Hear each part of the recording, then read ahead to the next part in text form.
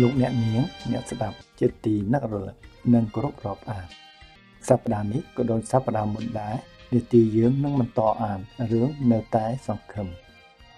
បាទរឿងនៅតែសង្ឃឹមជាកម្រងសំណេរស្ដីពីជីវិតតស៊ូរបស់ស្ត្រីខ្មែរកុសអ្នកក្រគំរូ4នាក់ដែលខំព្យាយាមពុះពៀជំនះទរណកម្មជីវិតនិងបានជួយធ្វើឲ្យជីវិតគ្រួសាររបស់ពួកគេ មានវាសនាបានទទួលនៅពន្លឺជីវិតថ្មីមួយយ៉ាងជោគជ័យនៅទីបំផុតនៅភាគទី9នេះនីតិយើងនឹងអានរៀបរាប់ពីជីវិតរឹងមាំប្រកបដោយការតាំងចិត្តរបស់នាងវណ្ថាតែជាកុលធីតាកូនអ្នកជនបទម្នាក់ទៀតរស់នៅក្រោមដំបូលនៃគ្រួសារបាក់បែកនិងជីវភាពជីទាល់ក្រយ៉ាងអន្តការរកទីបំផុតគ្មានបាទដើម្បីឲ្យបានដឹងថាតើជីវិតសិក្សារបស់នារីជនបទម្នាក់នេះ នៅកណ្ដាលទីក្រុងធំ មានដំណើររឿងយ៉ាងណានោះសូមអញ្ជើញប្រិយមិត្តលោកអ្នកនាងបន្តថ្មិចនេត្រាដិតយករូបភាពនៃរឿងនៅតែសង្ឃឹមពាក្យទី9ដែលជាពាក្យបញ្ចប់ជាមួយនីតិយើង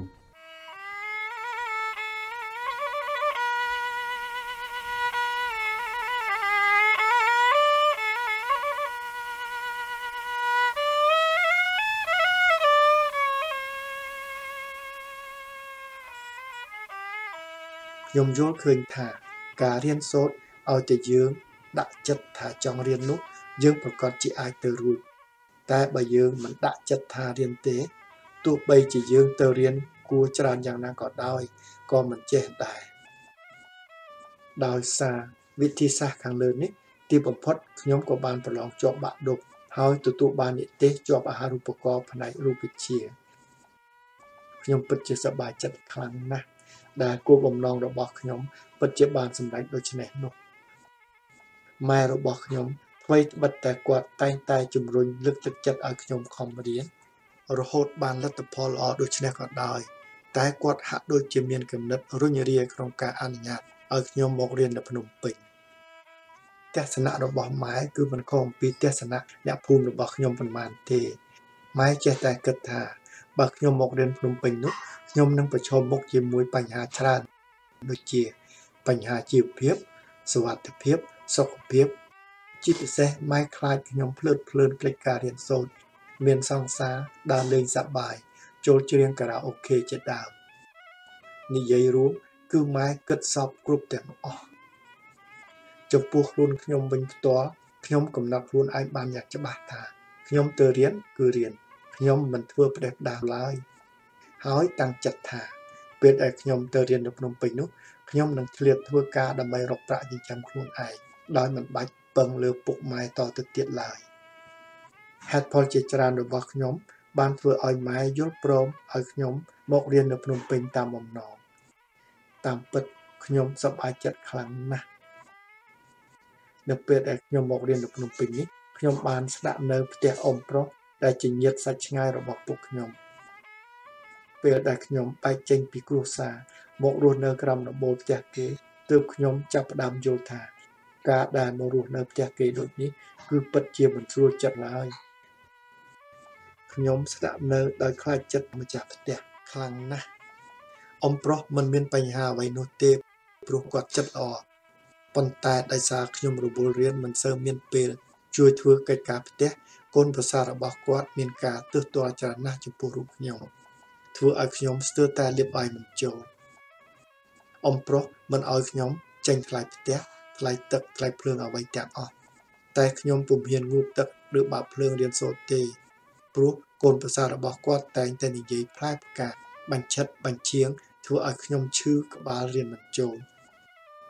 ជីវិតរបស់ខ្ញុំកាន់តែតឹងតែងឡើងតឹងតែងឡើងពីមួយថ្ងៃទៅមួយថ្ងៃនៅឆ្នាំដំបូង ខ្ញុំត្រូវរៀនថ្នាក់មូលដ្ឋាន ដែលតម្រូវឲ្យរៀនមុខវិជ្ជាច្រើនខ្ញុំមានអារម្មណ៍ថាខ្ញុំនឿយហត់ក្នុងការរៀននេះណាស់ដែរដោយសារតែមុខវិជ្ជាច្រើនពេកហើយក្នុងថ្នាក់រៀនភាសាអង់គ្លេសខ្ញុំមិនទាំងដឹងថាលោកគ្រូកំពុងតែនិយាយពីអ្វីផងព្រោះតែភាសាអង់គ្លេសរបស់ខ្ញុំវាខ្សោយពេកចំណែកឯការរៀនសូត្រ computer វិញក៏រឹតតែយ៉ាប់ណាស់ទៅទៀតខ្ញុំមិនទាំងដឹងថាកម្មវិធី Word និង Excel ជាអ្វីផងស្រាប់តែគ្រូចាប់ផ្ដើមបង្រៀនកម្មវិធី Access ធ្វើដូចជារូបខ្ញុំចេះខ្លាំងណាស់អញ្ចឹងនិយាយតាមត្រង់ទៅចុះបើនិយាយពីរឿង computer នេះសំបីតែបិទបើកក៏កាលនោះខ្ញុំមិនចេះធ្វើផងពេលខ្លះខ្ញុំគិតថាធុញទ្រាន់ណាស់តែបើគិតឲ្យដល់ទៅ ការដែលរៀនមុខវិជ្ជាច្រើនគឺធ្វើឲ្យខ្ញុំកាន់តែចេះច្រើនទៅវិញខ្ញុំខិតខំទន្ទិញមេរៀន ចូលរួមពិភាក្សាវែកញែកក្នុងថ្នាក់និងធ្វើលំហាត់រៀងខ្លួន ឬជាក្រុមដែលគ្រូដាក់ឲ្យទៅធ្វើនៅផ្ទះដែលជាហេតុធ្វើឲ្យខ្ញុំបានទទួលបានចំណាត់ថ្នាក់លេខ1ហើយទទួលបានអាហារូបករណ៍ជាសាច់ប្រាក់ពីសប្បុរសជននៅរដ្ឋតិចសាសនៃសហរដ្ឋអាមេរិកសម្រាប់រយៈពេល4ឆ្នាំ ក្នុងមួយឆ្នាំមួយឆ្នាំ ចំនួន125ដុល្លារអាហារូបករណ៍នេះជួយដល់និស្សិតក្រីក្រ និងមិនមានសម្រាប់តែនិស្សិតមុខជំនាញរូបវិទ្យានោះទេលុះចូលដល់ឆ្នាំទី2ខ្ញុំក៏បានសម្រេចចិត្តចូលរៀននៅសាកលវិទ្យាល័យមេគង្គកម្ពុជាមុខជំនាញភាសាអង់គ្លេសក្នុងរូបភាពអាហារូបករណ៍50%និងបង់ថ្លៃ50%ខ្ញុំគិតថាបរិញ្ញាបត្រ2អាចជួយឲ្យខ្ញុំងាយរកការងារធ្វើបាន ដោយភាពតានតឹងនៅក្នុងផ្ទះអ៊ំខ្ញុំកាន់តែធ្ងន់ធ្ងរ ខ្ញុំក៏បានសម្រេចចិត្តដាក់ពាក្យស្នើសុំស្នាក់នៅអន្តេវាសិកដ្ឋាន នៅសាកលវិទ្យាល័យភូមិន្ទភ្នំពេញដំបូងខ្ញុំមិនបានស្នាក់នៅទេព្រោះមាននិស្សិតសុំស្នាក់នៅច្រើនតតែក្រសួងអប់រំបញ្ជាក់អំពីប្រវត្តិរូបគ្រួសារដ៏សាមញ្ញរបស់ខ្ញុំទើបខ្ញុំបានចូលស្នាក់នៅអន្តេវាសិកដ្ឋានពេលខ្ញុំរៀនពាក់កណ្ដាលឆ្នាំទី3ប៉ុន្តែខ្ញុំត្រូវស្នាក់នៅក្នុងបន្ទប់កុំព្យូទ័រគឺពិបាកខ្លាំងណាស់ ព្រោះមាននិស្សិតចេញចូលបកប្រើកុំព្យូទ័រសំណាងល្អក្រោយមក មិត្តភ័ក្តិបានជួយខ្ញុំឲ្យបានស្នាក់នៅបន្ទប់គេជាបណ្ដោះអាសន្នសិនពេលនេះខ្ញុំឈប់ពឹងពាក់លើប្រាក់របស់ពុកម៉ែខ្ញុំទៀតហើយដោយសារខ្ញុំអាចរកប្រាក់សម្រាប់ចាយវាយខ្លួនឯងបានតាមរយៈការបង្រៀនភាសាអង់គ្លេសនៅសាលាឯកជនមួយ ក្នុងមួយថ្ងៃមួយថ្ងៃខ្ញុំត្រូវចំណាយពេលវេលារៀននៅសាកលវិទ្យាល័យភូមិន្ទផង និងធ្វើដំណើរទៅរៀននៅសាកលវិទ្យាល័យមេគង្គផងមិនតែប៉ុណ្ណោះខ្ញុំធ្លាតទៅបង្រៀនសិស្សទៀតខ្ញុំមានអារម្មណ៍ថានឿយហត់ខ្លាំងណាស់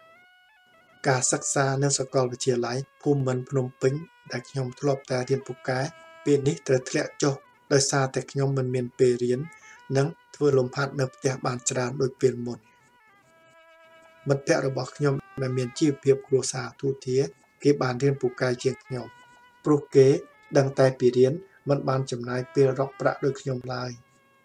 ចំណែកខ្ញុំបើមិនខំរកប្រាក់ទេប្រកាសជាត្រូវជួបការលំបាកខ្លាំងផ្នែកសេដ្ឋកិច្ចជាជាមិនខាប់ខ្ញុំភ្ញាក់ខ្លួនថា ការដែលសិក្សារបស់ខ្ញុំធ្លាក់ចុះដូចនេះគឺព្រោះតែខ្ញុំលោភលន់ខ្លាំងពេកដូចនេះខ្ញុំមានទស្សនៈថាប្រសិនបើយើងបានកំណត់គោលដៅអ្វីមួយ ច្បាស់លាស់ហើយនោះ យើងត្រូវតែខិតខំប្រឹងប្រែងឲ្យបានខ្លាំងដើម្បីសម្រេចបាននៅគោលបំណងរបស់យើងបើយើងមានគោលដៅរារាច្រើនក្នុងពេលតែមួយនេះវាអាចធ្វើឲ្យយើងជួបប្រទះនឹងការលំបាកច្រើនឬឈានទៅរកបរាជ័យថែមទៀតផងពេលដែលខ្ញុំរៀនដល់ឆ្នាំទី4នៅសាកលវិទ្យាល័យភូមិន្ទភ្នំពេញខ្ញុំបានសម្រេចចិត្តជប់រៀននៅសាកលវិទ្យាល័យមេគង្គឆ្នាំនេះខ្ញុំបានបន្ទប់ស្នាក់នៅ អន្តេវាសិកដ្ឋានពេញសិទ្ធហើយ ការសិក្សារបស់ខ្ញុំក៏ស្ទុះឡើងវិញ ដែលផ្ដល់ឱកាសឲ្យខ្ញុំអាចជ្រើសរើសសរសេរសារណាបាន ដើម្បីបញ្ចប់ការសិក្សាយកបរិញ្ញាបត្រខ្ញុំបានចំណាយប្រាក់ច្រើនក្នុងការធ្វើសារណានេះ តែលទ្ធផលដែលខ្ញុំបានទទួលគឺមិនធ្វើឲ្យខ្ញុំអស់សង្ឃឹមនោះឡើយដោយសារតែខ្ញុំបានទទួលពិន្ទុខ្ពស់គួរជាទីពេញចិត្តនិងស័ក្តិសមនឹងការប្រឹងប្រែងរបស់ខ្ញុំ ឥឡូវនេះខ្ញុំរៀនចប់ពីសាកលវិទ្យាល័យភូមិន្ទភ្នំពេញហើយសប្តាហ៍ថ្ងៃនេះខ្ញុំបង្រៀនរូបវិទ្យាដល់កូនគេតាមផ្ទះនិងកំពុងតែត្រៀមលក្ខណៈដើម្បីចូលរៀននៅវិទ្យាស្ថានអប់រំរយៈពេល1ឆ្នាំទៀតមុននឹងប្រឡងចេញយកក្របខ័ណ្ឌជាគ្រូបង្រៀនវិទ្យាល័យនៅស្រុកកំណើតរបស់ខ្ញុំស្របតាមក្តីប្រាថ្នារបស់ខ្ញុំកាលពីមុននោះ ខ្ញុំមិនដឹងថាខ្ញុំមានសមត្ថភាពអាចប្រឡងប្រជែងយកលេខរៀងខ្ពស់ដើម្បី បានជ្រើសរើសទីកន្លែងធ្វើការដូចចិត្តឬអត់ទេព្រោះខេត្តសៀមរាបរបស់ខ្ញុំ មានបេក្ខជនច្រើនអ្នកដែលចង់ទៅបម្រើការនៅទីនោះខ្ញុំកំណត់គោលដៅខ្លួនឯងថា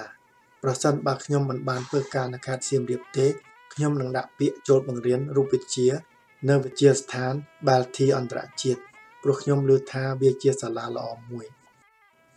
ពេលខ្ញុំបានចូលធ្វើការពេញម៉ោងខ្ញុំនឹងសន្សំប្រាក់ដើម្បីជួយប្អូនប្អូនពៅរបស់ខ្ញុំដែលកំពុងរៀនថ្នាក់វិទ្យាល័យឲ្យបានរៀននៅមហាវិទ្យាល័យដែរ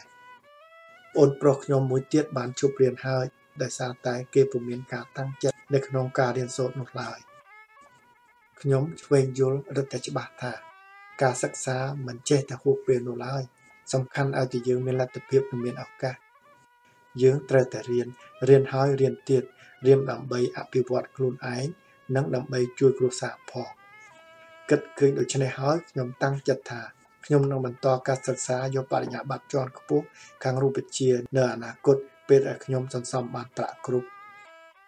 គោលបំណងប្រាថ្នាធំរបស់ខ្ញុំគឺចង់ធ្វើជាសាស្ត្រាចារ្យនៅសាកលវិទ្យាល័យភូមិន្ទភ្នំពេញនេះព្រោះសាស្ត្រាចារ្យនៅទីនោះ មានឱកាសបន្តការសិក្សាថ្នាក់បណ្ឌិត នៅបរទេសទៀតផងខ្ញុំនឹកអស់សំណើចនឹងខ្លួនឯងខ្លាំងណាស់ព្រោះតែខ្ញុំមានចិត្តបងប្រាថ្នាមិនចេះចប់មិនចេះហើយសោះកាលពីនៅក្មេងខ្ញុំចង់ធ្វើជាគ្រូបង្រៀនសាលាបឋមសិក្សាដូចជាឪពុករបស់ខ្ញុំដល់ចូលរៀននៅវិទ្យាល័យខ្ញុំចង់ធ្វើជាគ្រូបង្រៀននៅវិទ្យាល័យឥឡូវរៀនចប់មហាវិទ្យាល័យគឺមានបំណងចង់ធ្វើជាសាស្ត្រាចារ្យនៅមហាវិទ្យាល័យទៀត តើខ្ញុំមានមហិច្ឆតាធំពេកទៀតដែររឿងរ៉ាវអតីតកាលរបស់ខ្ញុំត្រូវបានបញ្ចប់ដោយសារមិត្តរបស់ខ្ញុំម្នាក់បានស្រែកហៅខ្ញុំខ្ញុំក៏បានក្រោកចេញពីមាត់ស្រះហើយដើរសម្ដៅទៅរកគេទាំងទឹកមុខញញឹមស្ងួតហាក់ពុំទាន់អស់អាល័យជាមួយនឹងការនឹករលឹកដល់រឿងរ៉ាវអតីតកាលរបស់ខ្ញុំមុននេះនៅឡើយមុនបវេសនកាលចូលរៀនគរុកុសល នៅវិទ្យាស្ថានជាតិអប់រំ ខ្ញុំបានឆ្លៀតមកលេងស្រុករបស់ខ្ញុំដាវីដែលជាក្មេងស្រីនៅក្បែរផ្ទះខ្ញុំទើបតែរៀនថ្នាក់ទី7ទេតែនាងស្រឡាញ់ការសិក្សាខ្លាំងណាស់ដាវីឃើញខ្ញុំជាកូនអ្នកក្រ តែបានទៅរៀនភ្នំពេញនោះនាងក៏មកនិយាយជាមួយខ្ញុំបងបានថាពេលខ្ញុំធំឡើងខ្ញុំចង់ទៅរៀនភ្នំពេញដូចបងដែរណាខ្ញុំញញឹមទៅកាន់ដាវីព្រមជាមួយចម្លើយ ឲ្យតូនឯងចង់ទៅរៀននោះប្រកាសជាអាចទៅរៀនបានដាវីយកដៃអេះក្បាលធ្វើមុខជូរឲ្យខ្ញុំរៀនមិនទៅបងបើម៉ែប្រាប់ថាឲ្យខ្ញុំរៀនត្រឹមថ្នាក់ទី9ហើយឲ្យខ្ញុំជប់រៀនហើយខ្ញុំបញ្ជាក់សួរទៅដាវីតើឯងចង់ជប់រៀនទេដាវីក្រវីក្បាលញាប់ស្អេកទេទេអត់ទេបងអត់ទេខ្ញុំខ្ញុំចង់រៀនទៀតតែម៉ែសួរខ្ញុំថាទៅរៀនហើយនឹងបាយស៊ីយកមួយណា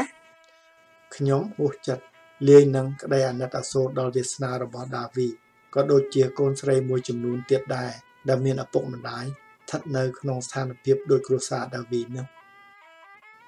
អ្នកចិត្តខាងរបស់ខ្ញុំនៅតែប្រកាន់គំនិតបុរាណមិនព្រមឲ្យកូនស្រីរៀនបានខ្ពស់ដដែលពុកម្ដាយខ្លះយល់ថា កូនស្រីទោះជារៀនយ៉ាងណាក៏នៅតែផ្ទះមើលកូនបោកខោអាវដាំបាយឲ្យប្តីតែដដែលនឹង ដូច្នេះឲ្យជប់រៀនឲ្យហើយទៅដើម្បីកុំឲ្យខាតពេល ហើយទៅរកស៊ីឬរកការងារធ្វើយកប្រាក់មកជួយគ្រួសារវិញប្រសើរជាងចំណែកខ្ញុំខ្ញុំយល់ឃើញថាខ្ញុំត្រូវតែមានចំណេះវិជ្ជា ដើម្បីជាគ្រឿងសម្រាប់ការពារខ្លួនមិនឲ្យប្តីមើលងាយជាមនុស្សស្រីយ៉ាងហោចណាស់ក៏ត្រូវមានចំណេះឬជំនាញអ្វីមួយដែរព្រោះយើងមិនចេះតែអាចពឹងលើកម្លាំងប្តីគ្រប់ពេលវេលានោះឡើយ តាមបទពិសោធន៍របស់ខ្ញុំបើខ្ញុំមិនបានរៀនសូត្រឲ្យពូកែតាំងពីតូចនោះទេម្លេះម៉ែខ្ញុំឲ្យខ្ញុំជប់រៀនតាំងពីយូរមកហើយខ្ញុំក៏ចែករំលែកបទពិសោធន៍នេះទៅដាវីឲ្យនាងខិតខំរៀនទាន់នៅមានឱកាសចំពោះរូបខ្ញុំផ្ទាល់វិញ ការដែលខ្ញុំមានថ្ងៃនេះគឺកើតចេញមកពីការខិតខំជំនះការលំបាកគ្រប់បែបយ៉ាង ប្រកបដោយការតាំងចិត្តខ្ពស់ ឪពុកម្ដាយរបស់ខ្ញុំជាអ្នកផ្ដល់ឱកាសនិងលុយកាក់ឲ្យខ្ញុំបានរៀនសូត្រមែនរីឯការសម្រេចចិត្តនៅជោគវាសនារបស់ខ្ញុំនោះគឺគ្មាននរណាក្រៅពីខ្ញុំជួយខ្លួនឯងនោះឡើយទោះបីជាឪពុកម្ដាយអាចធ្វើអ្វីអ្វីគ្រប់យ៉ាងដល់កូនកូន តែពួកគាត់មិនអាចខំរៀនជំនួសយើងបានឡើយ